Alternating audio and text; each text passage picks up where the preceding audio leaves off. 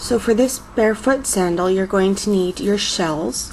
Um, I had a necklace that I found at the dollar store. It was already pre-beaded and it had all these beads on it and all I did was cut it and take it apart. So depending on what you can find for shells, whether it be a necklace that you've taken apart or if you've actually went out and specifically bought in these little bits, probably get them at like Michael's or some other craft or beading store. So I've divided it into two piles. I have my small ones and I have my large ones. You will also need a clasp and beads to make your toe ring part. Any color will do. I've chosen this slightly off white just to match the shells. You will also need about a meter of fishing line. I usually use between two and five pound weight. You want it thin enough that you can pass it through your beads a couple times. Um, if it barely goes through once, then your fishing line is too thick for your beads. So then you need to go buy a thinner one. So all you're going to do is you're going to attach your clasp. Okay. Make sure to leave yourself enough of a tail here to tie it off. And just however you want. I'm just doing regular knots here.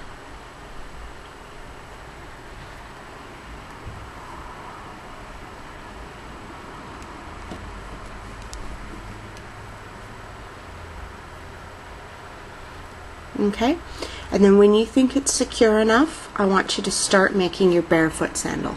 Don't worry about the tail or anything like that, just put it off to the side.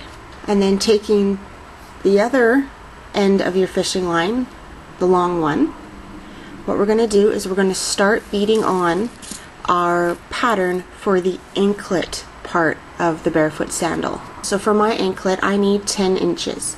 So what I'm going to do is I'm going to do one inch increments for my pattern.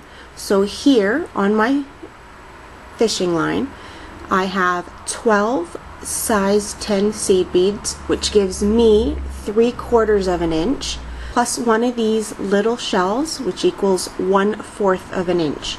So this plus this gives me one whole inch. Okay, so take your 12 seed beads and just let them fall down. And now what we're going to do is we're going to thread on our uh, seashell. It's a little easier to go from where the hole is instead of trying to find the hole in there. Let's go from this end here. There we go. So once you've got your shell beaded on, just pull it down to your beads. Now this gives me one inch and I need a total of 10 inches. So I'm going to do this 10 times. So once you have something that looks like this uh, to fit your sandal, try it on, make sure it fits. If it's too small, add more. If it's too big, adjust your pattern so that it does fit. Mine was too small by about 3 quarters of an inch, so all I did was add another 12 seed beads. Before we go on, is we're going to go back to the beginning where you had your tail. And we're going to take that tail and we're going to bead it up through the bottom of your beads. There we go. Doesn't matter how many, just enough that you get a good length in. There we go.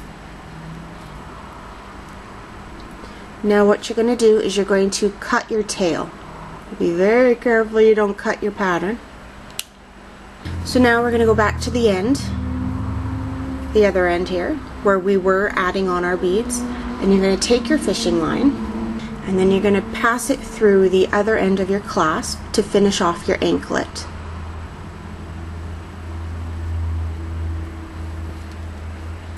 Okay?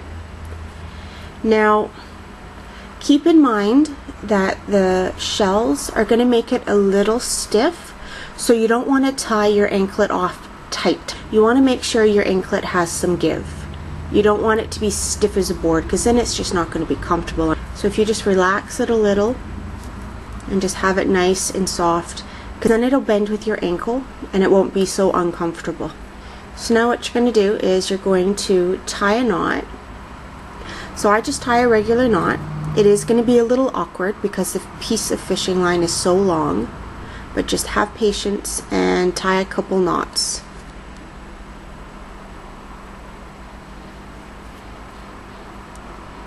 There we go. Okay.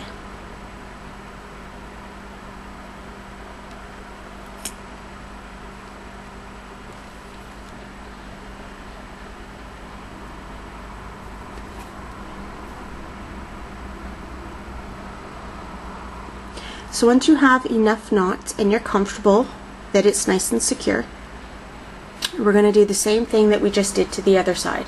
We're going to take the tail of our fishing line and we're going to put it up through our beads. Okay, and then just pull your tail through.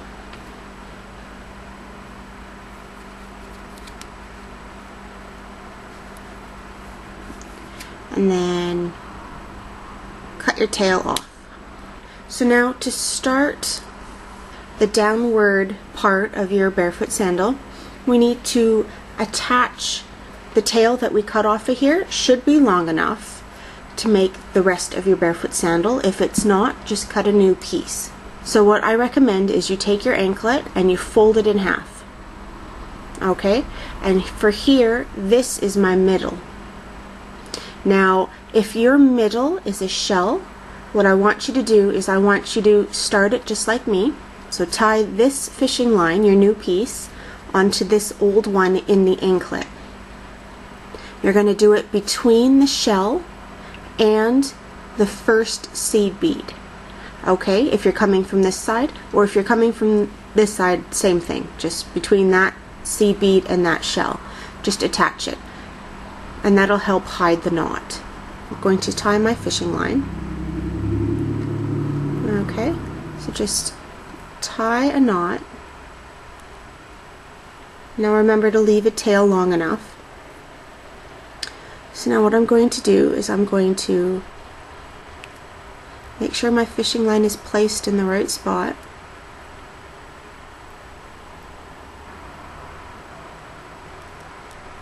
Okay, so see how I did that?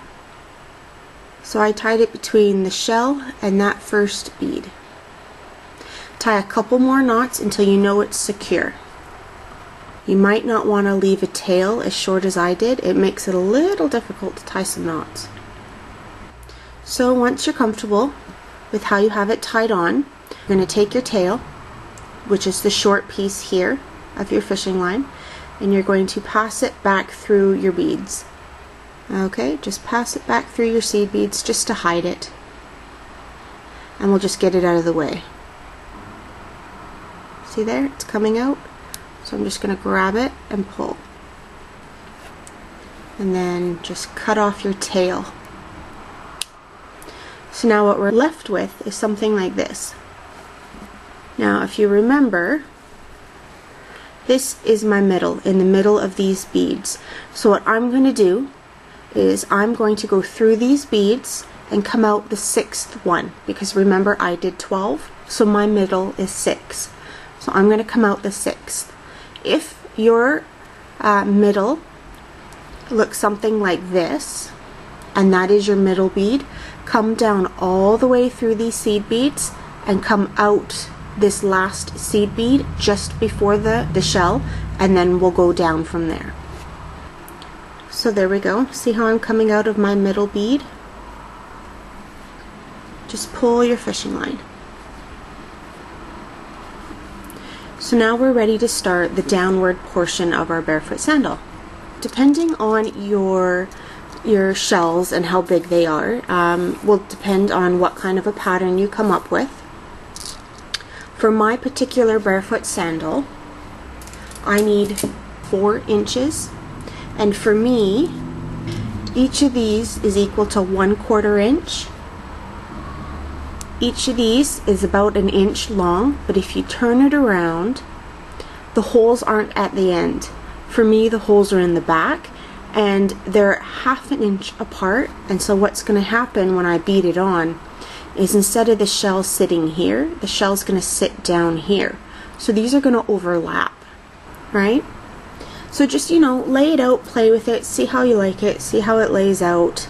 So the half an inch between these plus the quarter inches gives me one inch. See? So I'm going to repeat that four times down my barefoot sandal. For your anklet, it didn't matter which way you did the, the shells, it was whatever you grabbed. Now, if you want your shells going in a specific direction down your barefoot sandal, this is where you might want to pay attention. I, I'm not too particular, so I'm not. So I'm just going to grab one of my tiny shells and I'm going to thread it through just like that and then I'm going to grab one of my big beads now what I found with the big beads is this is a bit curved in here it's not exactly a straight um, hole to hole like normal beads it's kind of on the back on a flat bit so if you look at your fishing line, you notice that it kind of, because we've been working with it, it kind of has a bit of a bend in it, a natural bend. See how it's kind of pointing down and if I twist it, it kind of points up. Make sure it's pointing up when you go through the first hole of your shell. And that would help that will help it find this second hole at the back. So if you make sure it's pointing up and you go through the first hole it kind of slides along the bottom and it hopefully like that will come out of the other end. It may take a bit of playing and then I'm going to thread on my next bead. So that is one inch. So now I'm going to repeat that. Okay, so now I have something that looks like this and I've used up all my large beads.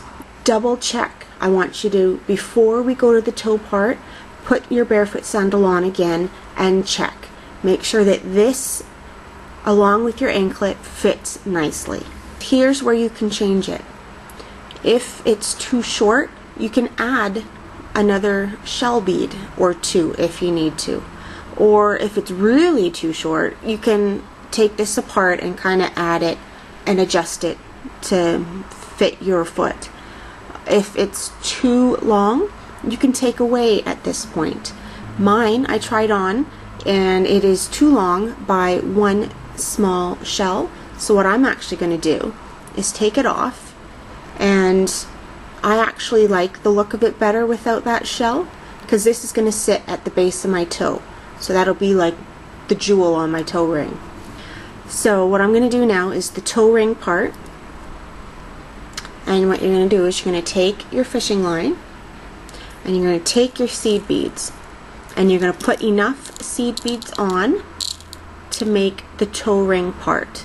For me, it's usually about 50 or so uh, size 10 seed beads. Once you have the beads for your toe ring beaded on, just let them fall down to the base and what you're going to do is you're going to make sure everything's nice and snug where you want it to be. And what we're going to do is we're going to tie a knot.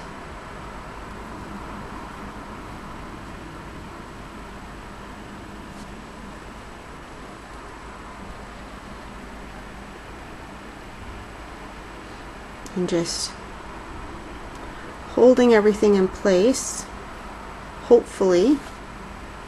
Just okay there we go. So make sure everything's nice and snug up against your shell bead. You don't want anything loose you don't want anything you don't want any big big gaps or anything like that. So make sure it's nice and snug and just tie a knot or two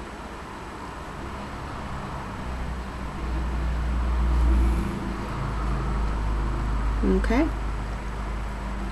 there we go. I am so not left-handed. Okay. There we go. So there we go. Tie one more.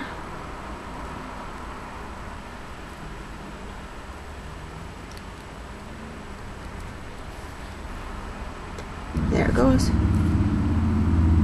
Okay. So now that you have it and it's nice and secure, what you're going to do is you're going to take your tail through my seed beads So it doesn't matter which side you go down, just pick a side of the circle and just start from the knot. Just thread it back through the seed beads. Half an inch, an inch, doesn't matter, it's up to you. Just as long as it's in there. And just pull, and there you go. So just trim off your tail. There you go. There's your shell barefoot sandal.